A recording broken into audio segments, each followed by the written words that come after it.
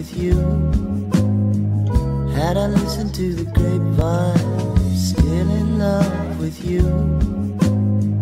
Had I listened to the grapevine,